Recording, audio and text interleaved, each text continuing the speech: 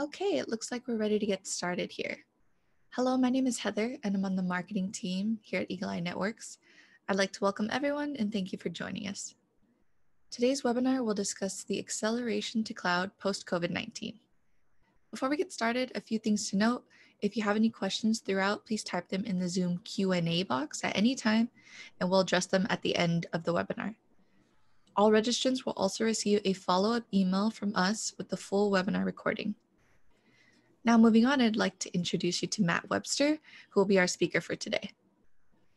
Matt Webster has 10 years of physical security industry experience, including sales, engineering, and product management roles for both integrators and manufacturers. He specializes in CCTV design and deployment for enterprise scope applications. He's here to lead you through the rest of the presentation. So with that, I'll hand it over to Matt. Hey, and good morning, everyone. Thank you for joining us. Um, and uh, again, this is my second webinar on behalf of Eagle Eye, so I'm quite excited to uh, present to everyone. We'll be talking about uh, some COVID 19 uh, oriented uh, solutions uh, to think about in terms of, of, Eagle Eye and cloud technologies. And just real quick, let me start out by talking about Eagle Eye um, and a little bit of history. We, we were founded by a gentleman named Dean Drako, who is the CEO and founder of a little company called Barracuda Networks. Um, founded in uh, 2012, uh, we are currently the largest uh, cloud video surveillance provider worldwide. Have a headquarter in Austin, Texas, as well as offices in Tokyo, Amsterdam, and just recently Colombia.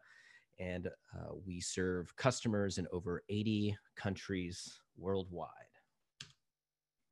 So let's talk about cloud. If uh, you guys are not familiar um, with it, although I uh, I believe you are, even if you don't realize it, um, we we interface with cloud um, service providers, cloud technologies, pretty much uh, all day long nowadays, right? So probably one of the best examples of this uh, that everyone is, is is more than likely familiar with is is Netflix. Netflix is a uh, obviously a a content provider. They provide you awesome movies, shows, series. They even produce their own stuff. Uh, what's interesting about Netflix, though, is that you you pers- you subscribe to their service. You pay nine ninety nine each month, and they curate all this data. They build the technology to to deliver that to you across a multitude of platforms, whether it's a web browser or a smart device, um, and and everything in between. And and they make it really look like magic and that is very important. Um, that's a really important uh, aspect of cloud service providers. Um, they really, uh, a really great cloud service provider does what it does, uh, and very, very complicated things, um, and they make it look very, very easy. And therefore, you know, the the the the service, the subscription fees that you pay, uh, obviously uh, are, are worth uh, the price that they are. Right. Another one um, is obviously Amazon. Amazon is sort of a combination. They have a Netflix sort of aspect to it, where they have the Prime service and you can stream videos from Prime. But they also have obviously a gigantic marketplace, the world's largest marketplace. Um, uh, that is a, a cloud-enabled marketplace that brings everyone together and uh, allows them to sell on behalf of uh, smaller companies, on behalf of Amazon. Uh, but they centralize sort of the idea of, of an e-commerce marketplace and obviously facebook uh, a cloud-based social networking um, platform uh, and everything in between so um, you guys are, are, probably very familiar with cloud technologies, but we're going to get into a little bit uh, deeper as far as uh, how to conceptualize uh, certain platforms, certain services, what they provide, uh, and, and how they are constructed uh, to offer you those services. So, real quick, um, I want to talk to you about a very interesting study that was done uh, by MariaDB.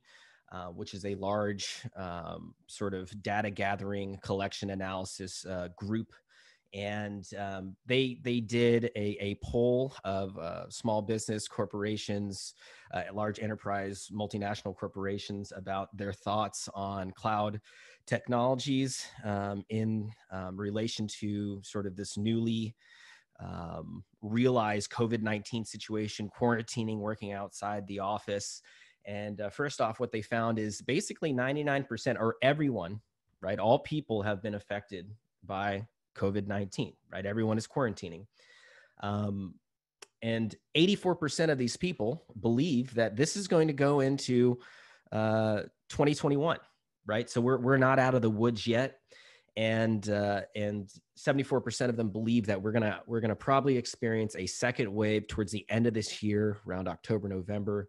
Uh, at least that's what our our government agencies are are telling us. Is that uh, I mean, right now actually we're seeing a uh, an increase, a spike of, of COVID 19 cases. And um, a lot of people, the vast majority of them, uh, 51%, uh, they they believe that uh, swapping over to a cloud solutions provider to provide whatever sort of business related service um, is in their best interest, right? Um, this idea of a cloud is, is is wonderful with that concept of being able to remotely manage or remotely use a certain service. So uh, the idea of uh, being outside of the office and being able to perform whatever sort of functions are necessary um, to your duty uh, remotely, right? So uh, everyone is thinking of cloud. And uh, quite honestly, when we're talking about the low voltage physical security space, which is the industry that we're in, I, I personally believe that everything will be uh, a cloud system for, for, many different reasons. We're going to go over a few of them, but uh, obviously this this concept of, of utilizing a cloud service is quite salient uh, in the public's mind for uh, both you know normal citizens, small business owners, all the way up to the CEOs, CTOs, CFOs of, of multinational corporations. Okay. So let's let's talk about our cloud architecture specifically um, as the title of this slide says not all clouds are built the same and that is a very important point that we're going to want to illustrate for you. Um, you know i, I had uh, on two previous slides we talked about just cloud technologies in general but there's a lot of um, cloud providers that don't necessarily provide a service. They provide um, an infrastructure right? So we have amazon web services we have microsoft azure um, and many others, right? These are really general purpose cloud um, architecture infrastructure providers. Um, and what's interesting about them is that the, these are obviously incredibly large, powerful, um, technologically sophisticated companies, and they offer a, a service uh, to a very broad spectrum of, of the marketplace. And what I mean by that is that their cloud infrastructures are what are known as uh, they're wide and they're tall. And what that means is that depending on the service that you want to put into the cloud, you might require uh, certain things. Maybe you require more storage, right? Maybe you require more processing power. Maybe you require a lot of people to be connected simultaneously. Um, and so these these large uh, web service providers, cloud service providers, they have to they have to accommodate for all these different combinations um, of, of, of, uh, re, of, of, resource requirements for these cloud services to, to work, right? And so they, they build themselves wide and they build, them, build themselves tall. So they have a larger ta- target audience. What that ends up doing is that that ultimately drives up the, the pricing for them, right? So you have customers paying for a resource that another customer uh, is utilizing, but they might not be, right? And uh, you you run into issues with regression fees and uh, bandwidth fees and um, basically um, certain certain uh, cloud services it, it's hard to operate and scale in these types of environments because it can become cost prohibitive. Now with our cloud uh, we rack and stack and we own our own cloud. We own you know we, we have uh, 11 data centers all over the globe. We rack and stack our own hardware. We build our cloud. We manage it centrally here in austin texas. Uh, and we purposely build all of all of the hardware the architecture, the systems and services associated, they are all purposely built for our cloud based VMS platform. And um, what's important about that is that we sort of we gear ourselves very specifically um, to to the specific resources right that we require to deliver our services and by doing so that makes us a lot more cost effective first off uh, but even more so as we as we begin to grow out our services um, our our model is built to become even more cost effective the more people that we attach to our cloud. So as we grow and we're already you know the biggest in the world so far but as we grow even larger uh, the idea here is that um, our service costs will go down. Um, and so that's that's a that's very exciting. In fact, last year in March, um, some of our most expensive, longest term, highest resolution uh, storage options um, for our service were uh, cut down as much as uh, half half of the original cost when we started. So the proof is in the pudding. We've already sort of made that first iteration in, in price reductions, and we expect to do that uh, moving forward. So it's um, you know very exciting, very advantageous for our customers to adopt uh, our service and grow with us, and and you know kind of accrue those savings over the course of time. So um, very very cool concept there. Um, and then let's let's just talk about so you know we we refer to our um, you know our service as a vSaaS. Some of you might be familiar with a SaaS model, a software as a service. A vSaaS is a video uh, software as a service. And um, so we, we talk about this concept of service. What are the services we provide? We, we provide a whole host of services. I'm just going to mention one of them, and, and it is cybersecurity. I also mentioned previously that our founder, Dean Drako, was the CEO and founder of Barracuda Networks, which was one of the first cloud uh, cybersecurity uh, firms out there, right? They, they ended up making um, you know, spam automatically updated spam filters and then they moved into intrusion detection devices and so on and so forth. So they they were uh, they they had a cybersecurity pedigree baked into uh, you know their business model. They've they've then brought that up to us. Dean has brought that to us and cybersecurity is fundamentally a part of our system and every everything from um, what our deployed on-prem device does that mitigates uh, or allows for the transmission of our data from a premise up to the cloud and then delivered down to a client. Everything from the device that we deploy to the cloud architecture and the way that we stream it to a client's um, interface whether it's in a browser or a smart app everything is secured. It's it's got end-to-end encryption, right? 256 AES encryption. When it gets into our cloud architecture, uh, uh, infrastructure, excuse me, it is uh, stored across three different servers. It is encrypted at rest. It makes it a highly available solution. That makes it a highly redundant solution.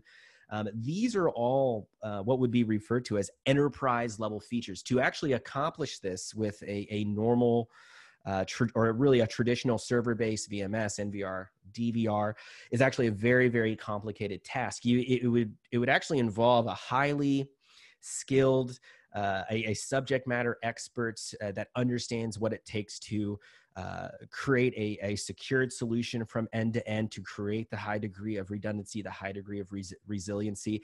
It would cost a lot of hardware. You would have to pay a specialist. Uh, they would have to manage it.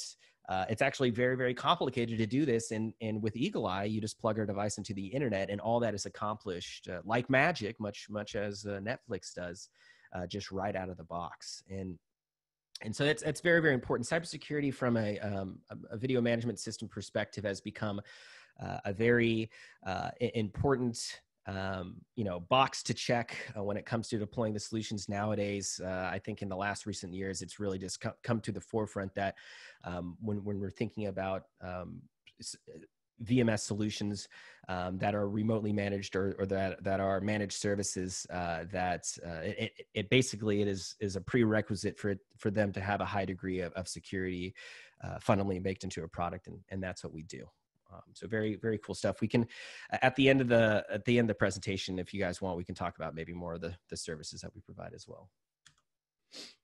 And so let's go ahead and talk about uh, some of the things that we've discovered um, in in lieu of of being quarantined, right?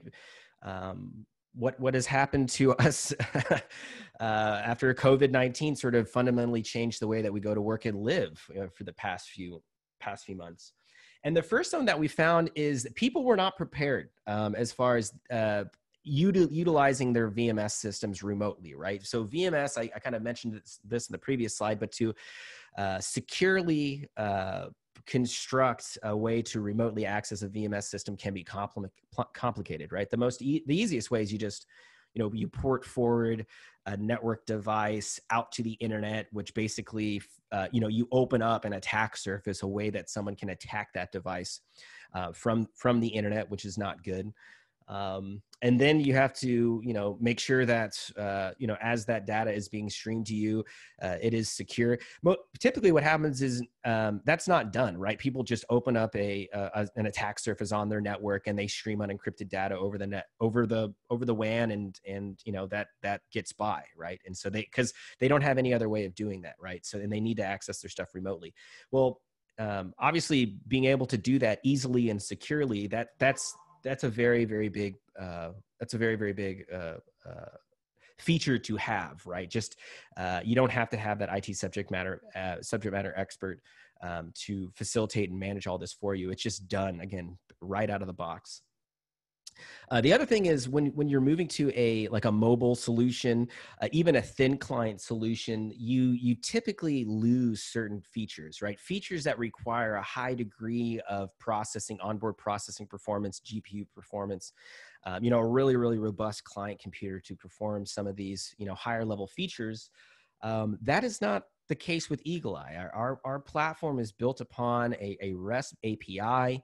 And uh, the API is basically a one to one feature for feature uh, between our web interface based MP, uh, API as well as our mobile API. So uh, you, you, there are no feature losses depending on you know what, what sort of platform you want to access our system from.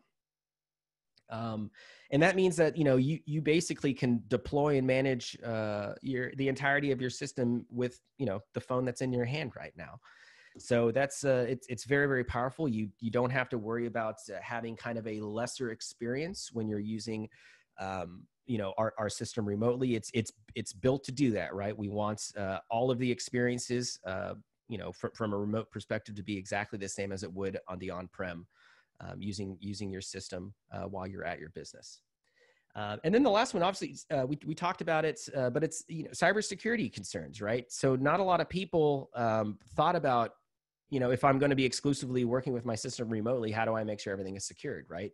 So we, we talked about that. I won't go in, into uh, too too much further explanation about it but obviously um, you know being being able to do this securely gives you that that peace of mind that uh, you know your your data w- won't wind up as a youtube video and then that causes a whole host of other issues that you would have to deal with. Um, so the other thing that we found is uh, people have been, um, our, our, system allows for uh, us to employ analytics essentially on any camera that you attach to our system. And we found that uh, we, we, the certain uh, analytics that we offer um, actually uh, complement uh, the ability to manage uh, your business remotely uh, and, and sort of uh, think about COVID 19 related things that are now huge considerations um, when we're talking about opening up businesses, uh, getting the economy going, um, getting employees back to full capacity. And so we, we offer five analytics uh, just right out of the box line crossing, pre- people counting, camera tampering, loitering, intrusion detection.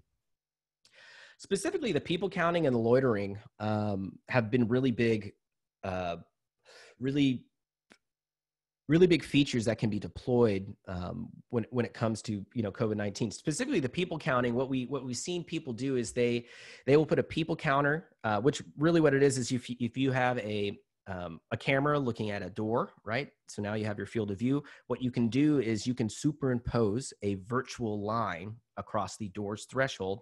And as people come and go throughout that door, we will count the ins and outs of that door. We'll also calculate the delta, how many people are still in and how many people have gone, right? Um, and then we'll overlay that on a stream. And what people are doing is they are uh, using that to make sure that the businesses are adhering to uh, facility capacity uh, limitations, uh, you know, so we can adhere to social distancing um, uh, standards that have been given us to you know by the FDA essentially, right? So uh, being able to know and limit uh, and be alerted um, to too many people being in a business is, is a huge feature. Um, and then and then the other one is going to be loitering, right? So um, I've I've seen this um, in in manufacturing, right, where uh, you know, manufacturers, if they're not making product, they're basically just hemorrhaging money. So they could not afford to, you know, limit the amount of people um, that are there to, you know, uh, you know keep production going. And so some of the things that they had to do to limit the people that are there is you know they've had to take some of the um, the infrastructure that sort of makes sure that uh, compliance is being adhered to. They've had to basically uh, make that make that job uh, remote. And so compliancy officers are using our system uh, with the combination of some of these analytics to adhere to certain compliancy. So for instance there are safety areas in like a manufacturing um, facility, right? That you can't you can't actually be in during, um, you know, while the the machines or whatever the manufacturing machines are, are running, right? And so they use this idea of a loitering um, box, which again you you have a field of view you have your area that you want to surveil you you virtually superimpose a, a region within that area And what loitering does is if anyone is to enter that area and dwell there for a, a, a user defined period of time, you can then receive a notification. And so we have a lot of people that are um, deploying loitering analytics to comply to safety standards.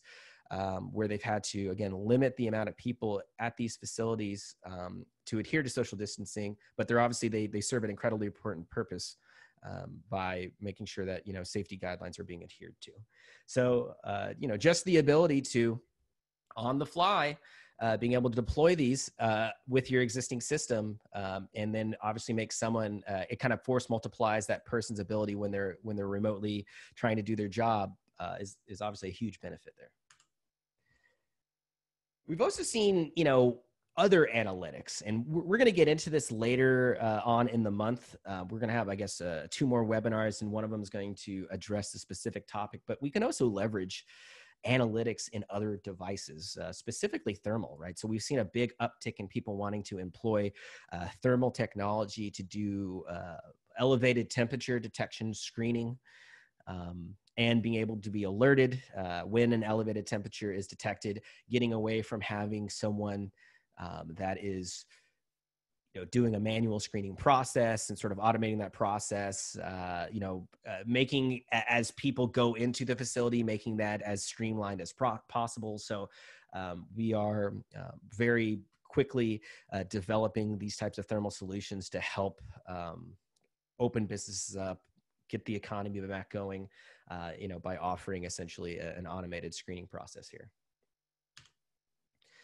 um, and one of the last things we're going to talk about uh, is going to be. Uh, let me just read this. This is actually one of our customers from from Planet Fitness, right? So they said, I, I, felt at ease knowing that I had the financial flexibility to decrease the retention or, or adjust camera resolution in real time to lower my total cost immediately. So we are a subscription service.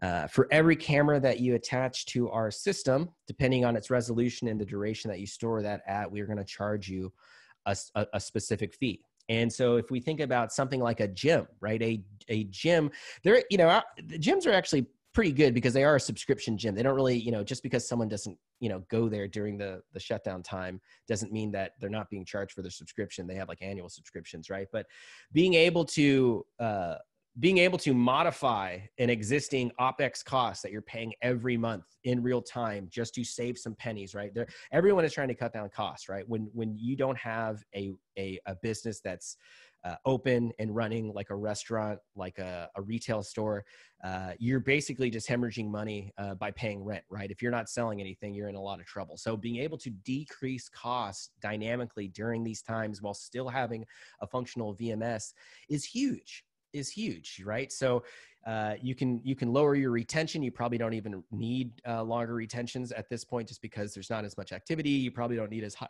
high as resolution again because there's not as, as much activity, and thus you you know the ability to to use high resolution video is not nec- as you know necessary. Uh, this is a this is this is a huge thing. So being able to dynamically change how much your subscription cost is on the fly just to accommodate for whatever sort of potential uh, financial uh, impacts uh, that, that covid uh, has and is going to have moving forward uh, really really great feature.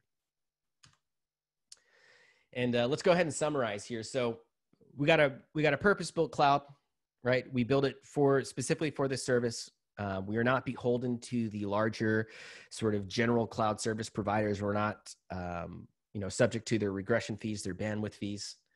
Um, and by doing this, this allows us to create a much more cost effective solution uh, as we grow as a company, as you grow with us. Uh, we are a cybersecurity focus centric, whatever you want to call it, product, right? Cybersecurity is number one uh, in our books. It is baked in fundamentally to our most affordable uh, subscription. Um, again, this type of level of, of cybersecurity is only possible uh, with other VMSs at a very uh, high level of, of subscription costs. So we're moving to their enterprise level products. More hardware needed. Subject matter experts from an IT perspectives are required to implement this type of system. None of that is needed with us. You plug our, our our device in on your premise, it attaches to our cloud, and now it becomes a cyber secure solution. It is as easy as that.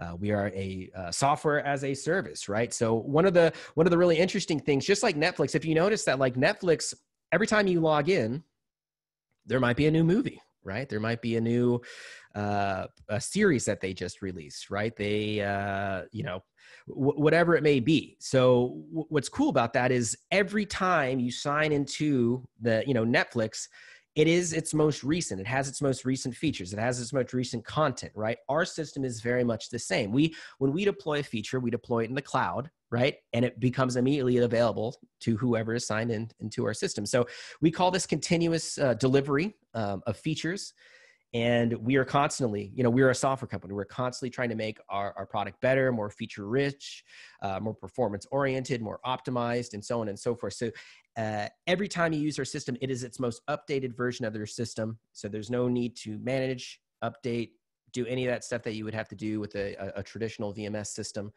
Um, and again that's just uh, all, all cloud products are pretty much the, the same way is that uh, you know they, they throw updates to the cloud you connect to the cloud and therefore you have the most recent version. So um, very, very cool inherent feature of cloud technologies.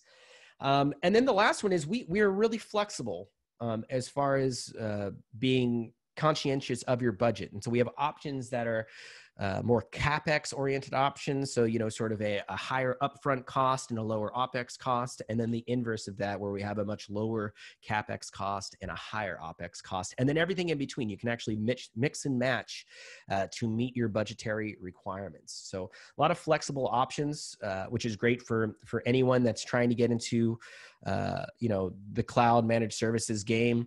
Um, we can we can be very uh, nimble as far as what your budgetary requirements um, are. And I would re I would be remiss if I wasn't to plug um, some other cloud technology or partners that we work with. The first would be Brivo. Uh, Brivo is our sister company. Uh, Brivo we acquired Brivo uh, a few years ago. They are a cloud-based access control company. Um, they've been in business for 20 years, so they've been doing this for a very, very long time. We have a free and very robust cloud based API integration with them. So by going and deploying a an Eagle Eye and Brivo system, you get a, a very robust free uh, integration to leverage both those systems simultaneously in one interface. So that is a very cool force multiplier uh, when you're deploying um, both both our technologies at the same site. And then finally, uh, Swift Sensors, which is uh, sort of I don't know. I guess you call them our cousin company. Swift Sensors is another company owned by Mr. Dean Drako. This is a wireless industrial control sensor company that has a cloud interface, right? So, all sorts of uh, interesting wireless uh, control sensors, pressure sensors, shock sensors, temperature sensors, flood sensors, everything in between. They're all wireless. Which is in, in by itself its own sort of specialized technology, a specialized wireless technology, but more importantly, uh, it centralizes all of the data those sensors are picking up into a cloud interface um, again, we have really awesome, powerful integrations that are free between us and them. And uh, so you should check them out if you need any sort of industrial uh, control sensor needs. And with that, we'll go ahead and um, we'll, we'll open it up to some questions. Um, I'm going to throw it back to our marketing team. And uh, yeah, please, please let us know if you want me to expound on anything, and uh, we, we will go from there. Thank you very much for listening, guys. Uh, I, I certainly do appreciate your time. Thanks so much, Matt. That was a lot of great info. Now I think it's a good time to jump into some Q&A. Reminder for everyone, now is the time if you have any questions, type them into the Q&A box of Zoom and we'll read them from there. So we actually have a couple questions already. So we'll go ahead and start with what are some options for people that already have a video surveillance system? Can they switch to Eye Networks? Yeah, absolutely. So whether you're using analog cameras or IP cameras or maybe an, an HD over coax solution, you have an existing NVR or a server-based VMS, um, we can work uh, with them. So we can replace those devices. We can work with those devices with even another VMS that's deployed. Uh, we can take over any sort of technology uh, what again it's the analog the ip or the hd over coax. And then from an ip perspective we are our interoperability standard is based around onvif uh, which essentially all almost all ip cameras comply. I believe if you look at our, our camera compatibility compatibility database, we're looking at over 3,000, 2,500 to 3,000 cameras that we support right now. And uh, what's really cool about our, our platform is provided that a, a camera is on OnVIF capable, we can build a driver on the fly as you deploy. So you can make use of whatever the newest, latest, and greatest camera that's coming out from whatever manufacturer. You, we can just build that camera on the fly, integrate it, and there you go. You're off to the races. So a lot, a lot of cool, flexible options. Yeah, speaking of compatibility, another question is which thermal cameras we support, or where can someone go to see which thermal cameras we support? Yes, absolutely. So um, on our website, een.com uh, slash cameras, uh, that's going to bring you to our camera um, compatibility database. We, su- we support all the major um, thermal camera providers. So Axis, Mobotix, NL, FLIR, Hikvision, Dahua, pretty, pretty much all of them. Um, and uh, again, we, d- we do this via OnVIF. And we are also working on some some more specific feature-rich uh, functions by like pulling uh, alerts and metadata off uh, temperature-based metadata off of the cameras uh, to integrate into our interface with a with a even more select uh, few providers as well, which that will be covered um, later on in the coming weeks when we do our thermal presentation. But um, pretty much pretty much all the big players um, when it comes to the thermal thermal stuff, and that that's again that's become a really big uh, hot button topic. People are really, really curious about how they can implement uh, thermal cameras to do elevated temperature detection. And so we're, we're trying to play with everyone to be, uh, you know, as supported as possible within the industry. Definitely, definitely. So we have a question that came in regarding pools, and it's a two-part question. It is, can Eagle Eye be used to count incoming and outgoing people that are coming into a pool area? And also, can it be associated with disabling a card reader uh, when capacity has been reached? Yeah, we uh, so the first question is pretty straightforward. Yes, we can certainly do that. Uh, that is going to be very dependent on the placement of the camera, right? So we have a very simple analytic, um, and it's going to be able to uh, targets or judge uh, a person as in the form of a target as they move through a, a virtual line that you're going to superimpose within that field of view. So for instance, if it's a pool gate, you're going to put a line around the entry point of that gate area. And as people go in and out of that gate, you can, um, you can detect uh, or, or count the people, the in and out. And again, we will show you that delta.